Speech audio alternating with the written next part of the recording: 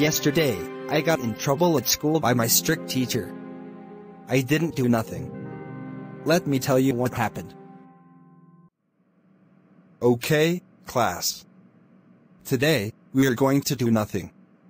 So that means no talking, no breathing, no laughing, no blinking, no reading books, no walking, no moving, no fighting, no hearing, no eating, no sneezing, no coughing, no farting, no writing, and most importantly, no looking at me.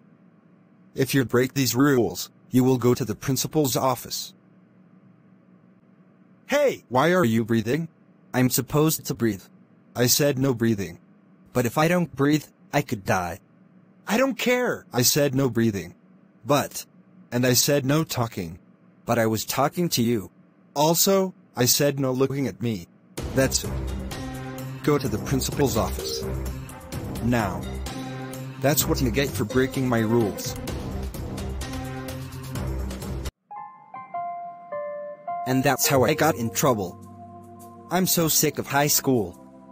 I can't even make animations that much because high school is in the way.